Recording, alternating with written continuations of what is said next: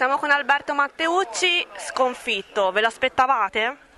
Dopo la tornata eh, di 15 giorni fa, sì, sapevamo che era difficile recuperare, era quasi impossibile, pensavamo ad un risultato un pochino più mite. Si paga sicuramente lo scotto di una politica nazionale che tende a penalizzare il centrodestra.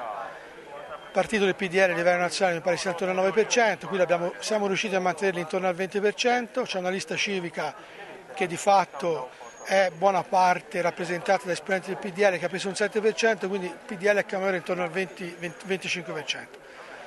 È successo quello che non era ponderabile, dovuto sicuramente anche a una mancanza di credibilità che si è verificata negli ultimi mesi da situazioni che voi avete letto sui giornali, di passaggi da un partito all'altro, in cui poi c'è stata anche quella ricerca scientifica del voto dissociato che ha penalizzato la coalizione che rappresenta. Da lì poi andare al ballottaggio cercando accordi apparentemente è molto più facile perché ha una percentuale più alta rispetto a chi ha una percentuale più bassa. Per cui credo che questa sia l'unica analisi fattibile in questo momento, oltre a una ricerca e un'analisi minuziosa all'interno di ogni forza politica affinché verifichi se ci sono stati comportamenti corretti e trasparenti da parte di tutti e di tutte le persone che facevano parte della coalizione che mi sosteneva.